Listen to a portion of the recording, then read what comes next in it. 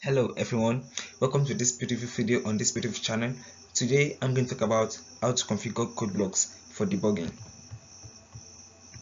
This video is going to be an addition to my code block series. If you haven't checked that, I'm going to advise you to check it out and you can also subscribe to the channel to few more series on code blocks and other softwares.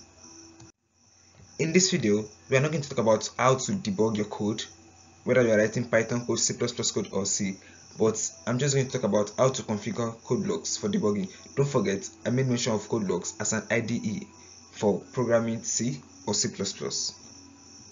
So, let's get started.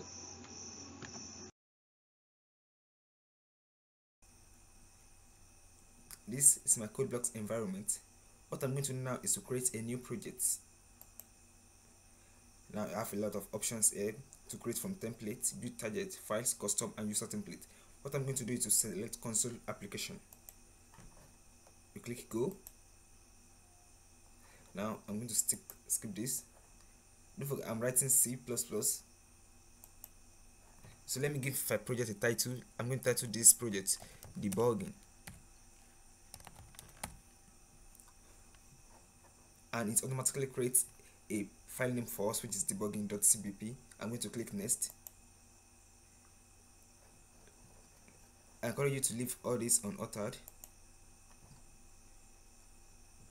So here I have my new projects. We have our main.cpp here. So this is the auto-generated code. Main.cpp, we have our code to simply print hello world. Here, as you can see, I created a small code to print hello world 10 times on the console this is not really a debugging class so we won't, we won't be doing much of debugging. Now if you just download your code blocks your debugging might not be available from the toolbar you can see here, there's nothing like debug. What you have to do is go to view go to perspective toolbar. Here you are going to see debugger. See debugger is not checked. We have our browser tracker checked code completion checked compiler checked. What you have to do is to check the debugger. So once you check this you are going to see now you have debug continue and debugging tools are not available. Now, if you run your debug for the first time, if you just download your code blocks, debugger might not work. So what you have to do is come to settings, come to compiler. Now here we have a lot of options for us, compiler settings, linker settings, search directories. What you have to do is to come to toolchain executables. Now you come over here, you see GDB, CDB debugger, you set it to default.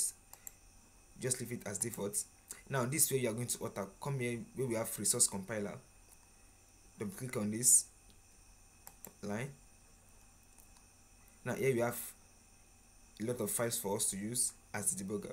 What you can do what you have what you have to do is to come to gdb32.exe you click here and click open.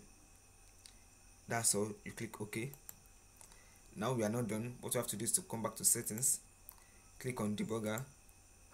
Now we have our debugger settings defaults now here we have to alter the file the directory for our debugger. Double click on this line.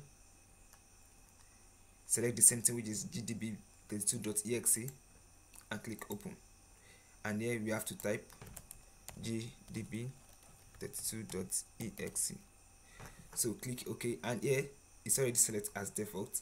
But if cdb cdb is selected you have to select gdb leave all this as it is then click ok.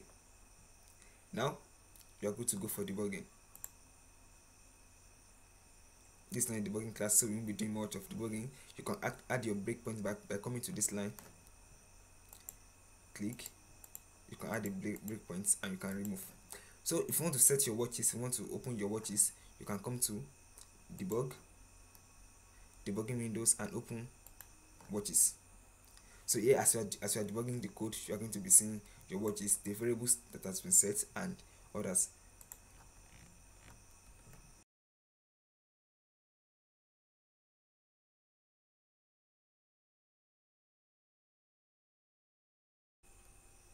Okay that's it for this tutorial. I want you to know this. In the beginning of the class i have a dark background in my working environment now i have white. If you want to know more about how to change this to black or how to change this to white you can check my code block series. Thank you very much